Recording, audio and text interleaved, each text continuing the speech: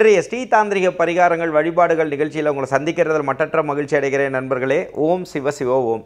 இன்றைக்கி நம்ம பார்க்க போகிற தாந்திரிக பிரயோகம் என்ன அப்படின்னு பார்த்தீங்கன்னா செல்வ வளம் தரக்கூடிய அமைப்புகளும் அதே மாதிரி வந்து பார்த்திங்கன்னா எதிர் சக்திகள் உங்களை விட்டு போகிறதுக்கும் அதே மாதிரி ஒரு பீஸ்ஃபுல்லான லைஃப் உங்களுக்கு கிடைக்கிறதுக்கு இந்த தாந்திரிக ரீதியான விஷயங்கள் வந்து ஒரு கேட்டலிஸ்ட்டாக இருக்கும் ஒரு உதவியாக இருக்கக்கூடிய அமைப்புகள் உண்டுங்க.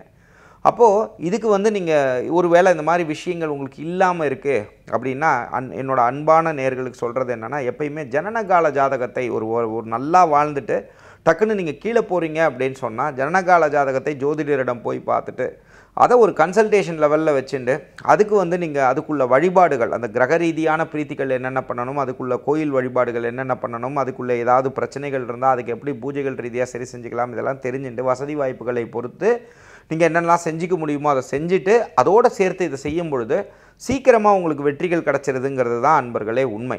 இதுக்கு உங்களுக்கு தேவையான விஷயங்கள் அதையும் பார்த்துட்டு அதுக்கப்புறம் நீங்கள் செய்ய வேண்டிய பூஜை என்ன இது என்றைக்கு ஆரம்பிக்கணும்னா அமாவாசை அதே மாதிரி பௌர்ணமி பஞ்சமி திதிகளில் ஆரம்பிக்கிறது விசேஷ பலனை கொடுக்கும் அன்பர்களே.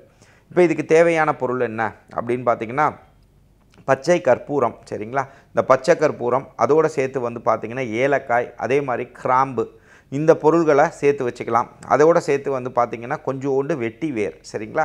இதை நீங்கள் எடுத்து வச்சுட்டு நீங்கள் என்ன செய்கிறீங்க அப்படின்னா இதுக்கு உங்களுக்கு தேவையானது வந்து வெள்ளி கிண்ணம் சின்ன சின்ன பாக்ஸ் மாதிரி இருந்ததுன்னா வெள்ளி பாக்ஸ் எடுத்து வச்சுக்கலாம். இல்லைன்னா வந்து பார்த்தீங்க அப்படின்னா பிளாஸ்டிக்கில் இருந்தால் கூட நீங்கள் தாராளமாக எடுத்து வச்சுக்கலாம் நண்பர்களே. இதை நீங்கள் எடுத்துகிட்டு ஃபஸ்ட்டு நீங்கள் என்ன செய்கிறீங்க அப்படின்னா உங்களுக்கு இது செய்கிறதுக்கெலாம் முன்னாடி இதுக்கு நீங்கள் பிரயோகங்கள் செய்கிறதுக்கு முன்னாடி ஃபஸ்ட்டு உங்களுக்கு குலதெய்வம் கோயிலுக்கு போக முடிஞ்சால் குலதெய்வ கோயிலுக்கு போயிட்டு அபிஷேக ஆராதனைகள்லாம் செஞ்சுட்டு அதுக்கப்புறமா நீங்கள் ஏன்னா நீங்கள் காசியிலேருந்து ராமேஸ்வரம் வரைக்கும் எந்த தெய்வத்தை வழிபட்டாலும் நம் குலதெய்வம் தான் நமக்கு காத்து நிற்குங்கிற சூட்சமத்தை நீங்கள் தயவு செஞ்சு புரிஞ்சுக்கோங்க. அப்படிங்கும்போது அந்த குலதெய்வ வழிபாடை நீங்கள் செஞ்சுக்கிட்டு அதுக்கப்புறமா அந்த ஜாதகத்தில் உள்ள இஷ்ட தேவதா வழிபாடு நீங்கள் செஞ்சுக்கணும். இந்த இஷ்ட தேவதா வழிபாடுகளை நீங்கள் செஞ்சுட்டு அதோடு சேர்த்து நீங்கள் என்ன செய்யுங்கன்னா இந்த பிரயோகத்தை பண்ணிக்கோங்க. இந்த பிரயோகம் பண்ணும்பொழுது நீங்கள் உபயோகிக்க வேண்டிய மந்திரம் என்னென்னா ஓம் சிவ சிவ ஓம் ஓம் சிவ சிவ ஓம் ஓம் சிவ சிவ ஓம் தனவசிய சிவாய வசிய ஓம் சத்ருவசிய சிவாய வசிய ஸ்வாஹா. இந்த மாதிரி மந்திரத்தை இதை மட்டும் நீங்கள் அக்ஷரமாக போட்டுட்டே வாங்க. ஓம் சிவ சிவ ஓம் ஓம் சிவ சிவ ஓம் மனசுக்குள்ளே ஒரு நூற்றி எட்டு தடவை போட்டுட்டு அதுக்கப்புறம் மிச்சம் இருக்கிறத மனசுக்குள்ளேயே நீங்கள் ஜெபம் செஞ்சுட்டு ஒரு பக்தியோடு இதை செய்யுங்க. இதை நீங்கள் செஞ்சுட்டு இதுக்கு நீங்கள் என்ன செய்யுங்க இந்த நாலு மூலையில் இது தனித்தனியாக அந்த பாக்ஸில் போட்டு வச்சுருங்க.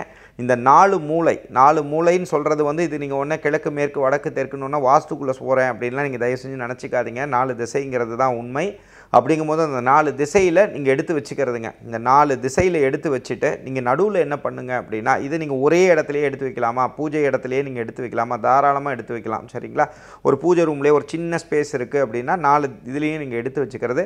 சென்டரில் நீங்கள் என்ன பண்ணுங்க அப்படின்னா கொஞ்சோண்டு ஒரு எலுமிச்சம்பளம் எடுத்துக்கிறது. அதை முக்காலாக வெட்டுறது. முக்காலாக வெட்டிட்டு அதுக்குள்ளே நீங்கள் என்ன செய்யுங்கன்னா நல்ல ரத்த கலரில் இருக்கக்கூடிய குங்குமத்தை எடுத்து நீங்கள் உள்ளே போட்டுக்கிறது இதை உள்ளே போட்டுட்டு இதை நீங்கள் வைங்க.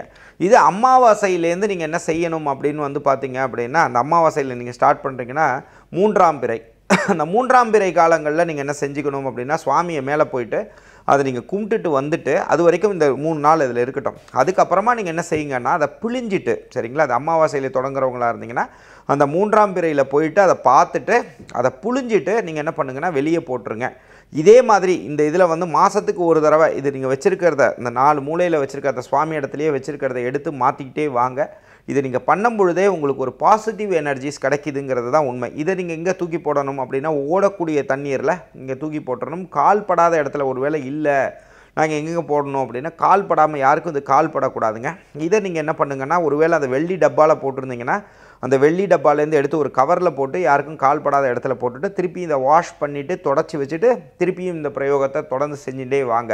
இதை நீங்கள் தொடர்ந்து செய்யும் பொழுதே இந்த செல்வ செழிப்பு சம்மந்தமான விஷயங்களுக்கு அது ஒரு ஒரு கேட்டலிஸ்ட்டாக இருந்து உங்களை வழிகாட்டும்னு சொல்லிட்டு இதே மாதிரி நிறைய தாந்திரிக ரீதியான வழிபாடுகள் வந்து பார்த்திங்க அப்படின்னா ஸ்ரீ தாந்திரிக் அஸ்ட்ராலஜி அப்படிங்கிற யூடியூப் சேனலில் போய் நம்ம பார்க்கும் பொழுதே நிறைய வீடியோஸ் நம்ம அதில் அப்லோட் பண்ணியிருக்கோம். நானூறு வீடியோக்கு மேலே நம்ம அப்லோட் பண்ணியிருக்கோம் நண்பர்களே அதை கண்டும் நீங்கள் பயன் பெறலாம். அதோடு சேர்த்து யாருக்கெல்லாம் பானலிங்கம் வேணும்னு ஆசைப்படுறீங்களோ திருச்சி சென்னை ஆஃபீஸில் நேரடியாக வந்தும் நீங்கள் வாங்கிக்கலாம். அதே போல் நீங்கள் ஒருவேளை நீங்கள் போஸ்டல் சார்ஜஸ் கொடுக்கும் பட்சத்தில் வெளியூர் வெளிநாட்டில் இருந்தீங்க அப்படின்னா நீங்கள் அதையும் நீங்கள் அதை நீங்கள் கட்டும் பட்சத்தில் வீடு தேடி அனுப்பிச்சி வச்சிருவோம் நண்பர்களே. நாளை மற்றும் ஒரு தாந்திரிக ரீதியான வழிபாடுகளுடன் உங்களை சந்திக்கும் வரை உங்களிடமிருந்து வணக்கம் கூறி விடைபெறுவது உங்கள் விஜய் சேத்து நாராயணன். நன்றி வணக்கம் ஓம் சிவ சிவ.